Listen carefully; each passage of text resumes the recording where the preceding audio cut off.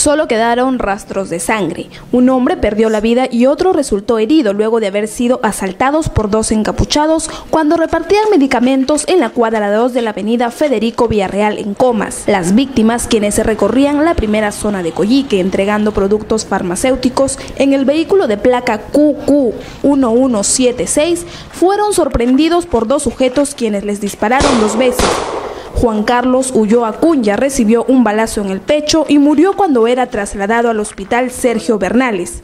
El otro disparo cayó en el brazo de Pedro Andrés Meléndez Eguábil, quien se encuentra en dicho establecimiento de salud. Reparte mercadería y ya estuvo terminando al parecer y le interceptaron los delincuentes. Sí, es la zona donde reparte.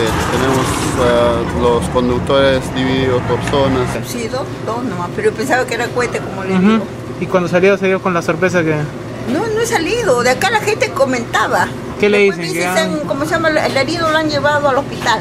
Los asaltantes hicieron además cuatro disparos al aire para evitar que los vecinos que se encontraban en el lugar ayudaran a las víctimas. Tras lo sucedido, los delincuentes huyeron a pie por las calles de este distrito. Testigos de lo sucedido aseguran que no es la primera vez que ocurre este tipo de actos delictivos en el lugar como siempre hay esto, estos problemas. Después dicen, ¿Por qué es así, señora? Paran robando, mucha Uy, delincuencia. Sí, sí, la vez pasada este, lo mataron a un delincuente acá a la vuelta. Hasta esta zona se hicieron presentes la policía y peritos en criminalística de la DININCRI de Comas para recolectar evidencias del atraco.